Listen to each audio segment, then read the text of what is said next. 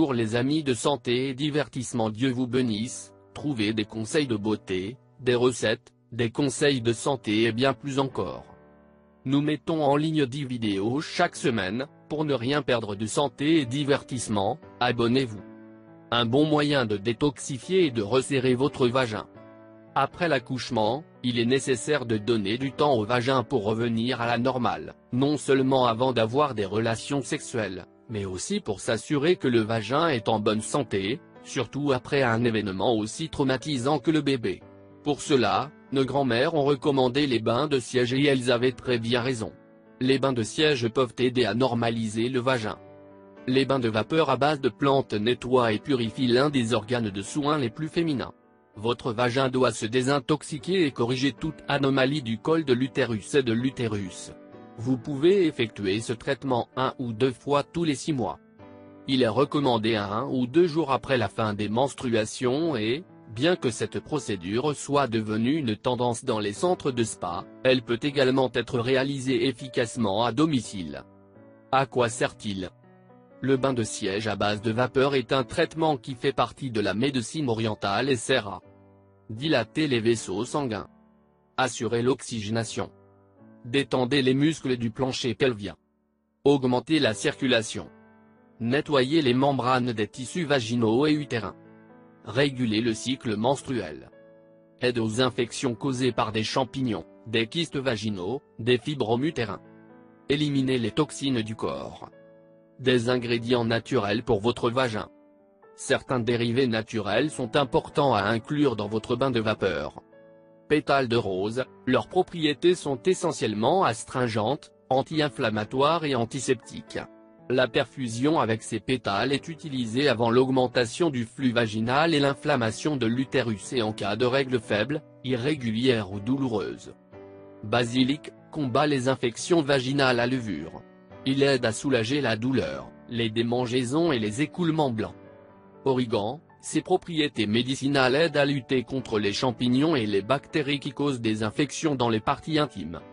Romarin, possède des propriétés astringentes, stimule la circulation, réduit l'inflammation, contient des antioxydants qui aident à retarder le vieillissement de la peau de la zone intime et favorise la régénération cellulaire. Lavande, les lavages avec cette plante servent à éliminer les bactéries habituellement associées aux champignons Candida albicans, au streptocoque ou au trichomonas responsable de nombreuses infections vaginales telles que les vaginites, les pertes vaginales, les candidoses. Camomille, les bains de siège avec infusion de camomille parviennent à dégonfler la région et à calmer les brûlures et les démangeaisons. Il est important qu'ils connaissent toutes les herbes avant de les utiliser pour éviter tout type de réaction allergique. Consultez toujours votre médecin traitant avant de subir ce nettoyage naturel. Lire la suite à le moment est venu de dynamiser votre utérus. Prendre en compte. Avec cette étape par étape, vous apprendrez comment effectuer le bain de vapeur vaginale.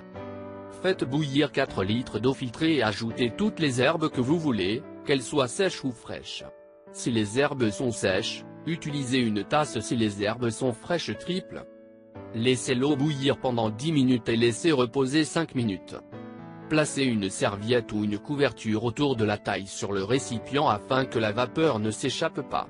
Laissez la vapeur pénétrer dans le vagin et les zones voisines pendant 20 ou 40 minutes.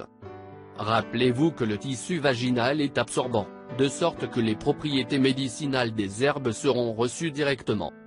Vous pourriez avoir des crampes ou des pertes vaginales, surtout si c'est la première fois que vous avez fait ce bain de vapeur. Avertissement. Il n'est pas recommandé chez les femmes enceintes. Ne le faites pas avec les règles. N'oubliez pas de partager cet article sur tous vos réseaux sociaux. Merci de nous avoir visités. Si vous voulez recevoir des recettes pour perdre du poids, des conseils de santé ou des recettes pour vous faire paraître beaucoup plus belle, je vous recommande de vous abonner à notre chaîne. Et bien sûr n'oubliez pas d'activer la petite cloche, près du bouton s'abonner, pour ne rater aucune vidéo. Je vous demande de nous faire un commentaire, même si c'est un bonjour, car vos commentaires nous motivent à continuer à faire beaucoup plus de vidéos pour vous. Partage avec nous dans les commentaires si vous avez des questions supplémentaires. Si vous l'avez trouvé intéressant, important n'oubliez pas de partager avec vos amis et familles. Merci que le grand Dieu vous bénisse prenez soin de vous.